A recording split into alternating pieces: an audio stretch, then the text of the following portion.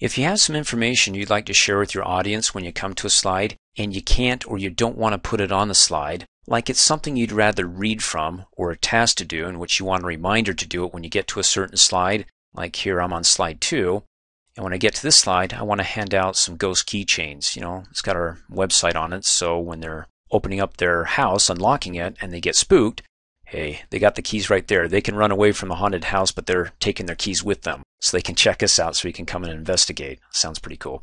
In any case, what you can use is what's called notes. And the notes are found down at the bottom in the normal view of your main working area, right there, notes. And they're also known as speaker notes because what you can do is you can print these off. So when you print off all of these, these speaker notes, notes for each slide, each page is going to have up at the top of it the picture of the slide, like slide 2 will have the picture of it here, and then down below all the notes that I type in. So here we've got our notes that you can click in and add some notes that you can read or maybe a to-do thing like handout ghost keychains, whatever you like when you get to this slide. And I assume that maybe you're projecting this up on the wall through a projector from off your computer that you can go ahead and say, oh, it's on our website, and then look at the page that has the picture of this, the slide, up at the top on our website, and then down below, you know, read your notes. But right here, it's in the normal view, it's right below there. And so I've got that on slide two. Slide three, type in any notes. Slide four, when I print this off, when I get to it, I can read the old three phase development process followed in the last year proven to be an expensive and time consuming process. Oh well. Slide five. Okay, when you get to a slide that doesn't have any notes, it'll give you the prompt text. It says click to add notes, and that's not going to print off. It's just prompt. So when you click on it, then it disappears, and you can go ahead and type in any notes as much as you'd like, except you got just one line here. When you get to the line, it won't stop. It just only shows one line at a time. So if you have paragraphs of text that you're typing in, this can be annoying because if you're like me and you're reading this line and you hit enter and type in a new line, you're like, oh, did I include that in the previous line? Well, you'd have to scroll up in this teeny tiny little window here. So instead, we can go to the notes pages and there it'll show us what it's really going to look like when we print it off. It'll have a picture of a slide and then below that all the notes, but not in a one-line viewing format. It'll show us multiple lines. It'll show us a big text box. In fact, let's go to it right now. Come up here, click on the View tab, go to the presentation views group and well that's the normal view that we're in right now where we can see the notes down below. And you can see in the icon we've got the thumbnail preview on the left hand side the big main working area and then below that that empty box there well that's supposed to be the notes. In any case we want to go to the notes page and you can see in the pop-up it says see how your presentation will look when printed out with notes.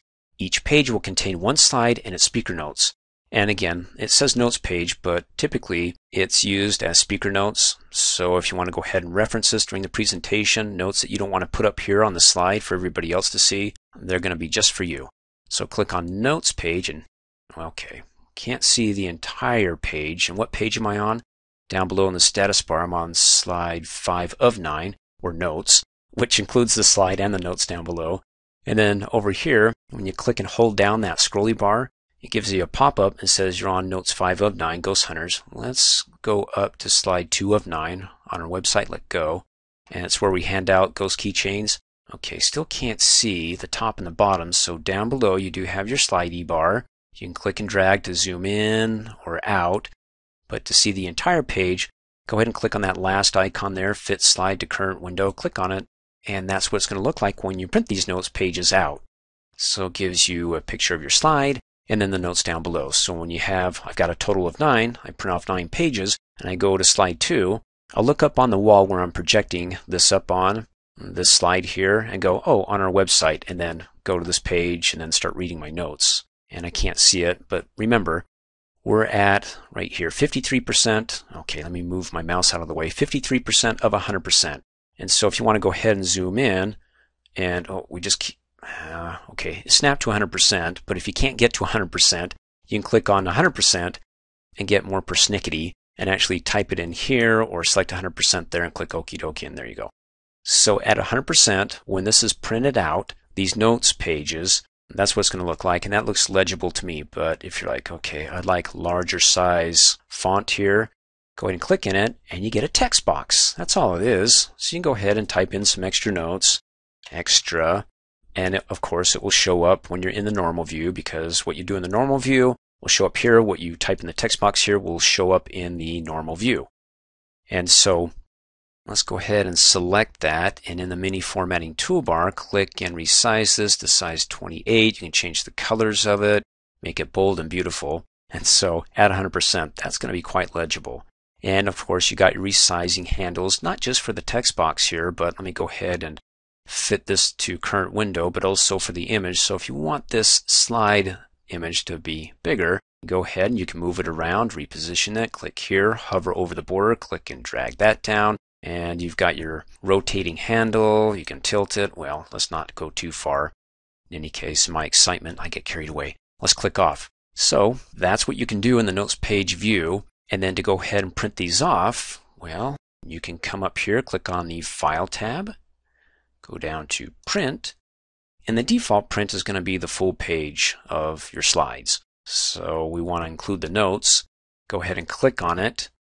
Come up here, there's the layout, full page slides. We want notes pages. Select it, and there we go. And you can see I'm on slide 2 of 9. And we've got our large text, and that's at 51% of normal size. So if I click and drag and zoom that to 100%, and then I scroll over and I go down, that's what it's going to look like when I print it off. That's really legible. So let's go ahead and go to slide 3, and that's what it's going to look like. Uh, I guess it's okay, but you know, if you're in a dark room and you have little to no light, that might be a little bit too hard to see. And speaking of which, when you're down here, you can also type in the notes page you want to go to or slide, hit enter, it jumps right to it. So you can use the arrows or type in a number. And then let's come over here and zoom to page so we can see it in its entirety, the slide with the notes down below. And so that's on slide two. We typed in extra, so if I go back and I go to the normal view and slide two, there you go. So what you type in the notes pages view also shows here, and in the normal goes to the notes page view as well. Okay, one final thing that I want you to know before we end the video is that you don't have to print off your speaker notes. You can actually have them up during your presentation without anybody else seeing them. How does that work? I'm glad you asked. Let's come up here and click on the slideshow tab and go to the monitors group and it's right there, use presenter view. You can see when I hover over it, the pop-up says the presenter view shows the full screen slide on one monitor and a speaker view on another monitor showing a preview of the next slide, your speaker notes, a timer, and more. So that way you can read all your stuff, in fact even play solitaire, and they won't even see what you're doing.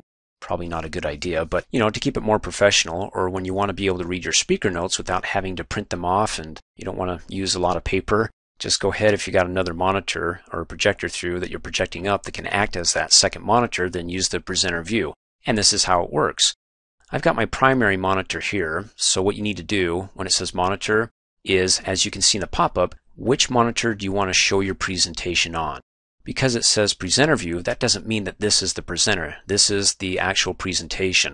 So my primary monitor is what you're seeing here. I have a second monitor over to the left-hand side, and when I click on it, it's called monitor, well, there's the name of it. So which monitor do I want my presentation to be on? I'll say the primary.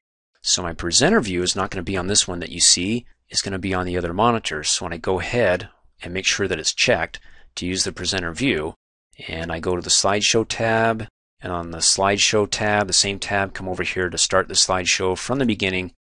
Okay, there's my presentation. That's not the presenter view. So I can just click and this is what you're seeing, but on my other monitor, I see something different. I know you're dying to see it, so fine. Let's go ahead and hit the escape key and let's switch this to say the main presentation is going to be on my other monitor, and then the presenter view is going to be on the primary here.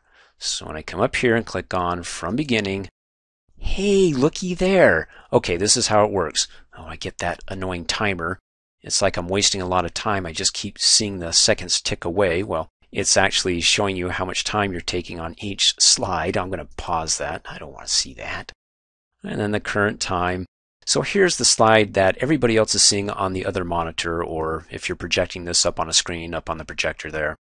And so you can see over here in the task pane, you got the next slide. Now the notes is not for the next slide, it's for the current slide. So that's what I'm talking about. You don't have to print off your speaker notes. Let's go to the next slide by clicking on it and there we go, slide two, our website. And at this point, we hand out ghost keychains. Now again, nobody else can see this. They're just getting what you just saw before I went to the presenter view here, this main view here. That's it. And this is fun because I can do a lot of things in here. I can play around, I can minimize this down to the taskbar, I can play solitaire, and it won't project it. Isn't that cool? In any case, if you want to learn more about this, I recommend that you watch my training video on slideshow setup. And in that, I'll have my presenter view as well. And to not leave you hanging, if your text here is too large and you want to fit more because you have more down below, you can use these shrink it up or go ahead and click on it several times to make it huge. And then when you're done, you can of course click on End Slideshow or just close out of the presenter viewer altogether and we're back. Thanks for watching. Hey, as a quick reminder, if you like my video, please give it a thumbs up. You can also click on me and subscribe to my channel to get notified of the latest videos. And for great specials on my products, please see the description below this video.